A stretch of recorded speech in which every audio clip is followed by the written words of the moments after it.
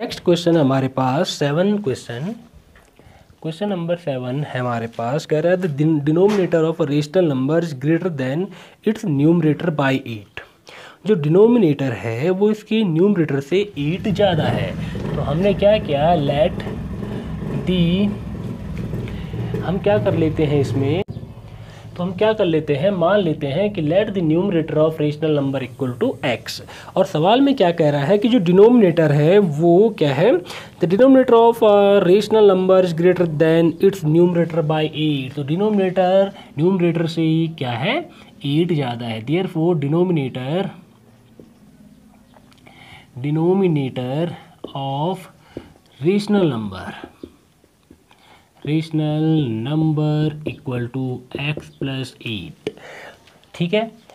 तो therefore rational number इसलिए rational number कितना हो जाएगा?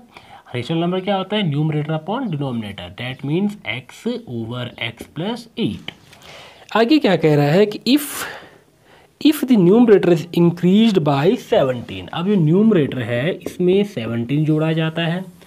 And the denominator is decrease by one और जो डिनोमिनेटर है, उसमें से एक घटाया जाता है। तो क्या हो जाता है? The number obtained is three by two तो कहता है, ऐसा करने से जो हमको मिलता है, वो कितना मिलता है? थ्री बाई टू मिलता है। तो कहता है, उस रेशनल नंबर को निकालो। मतलब हमको ये निकालना है यहाँ पे। तो देखते हैं सॉल्व कर लेते हैं। देखिए, ये हो गया x plus seventeen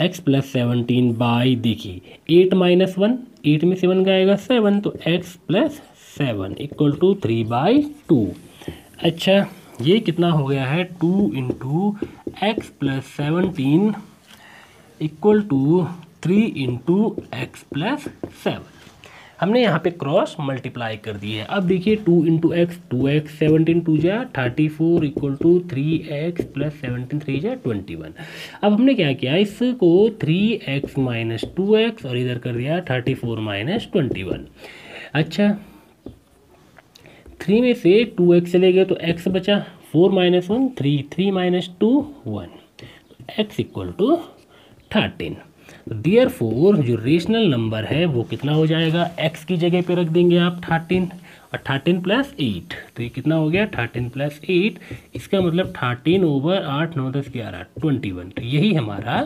rational number है। तो बच्चों, ये एक्सरसाइज भी हमारी कंप्लीट हो गई है।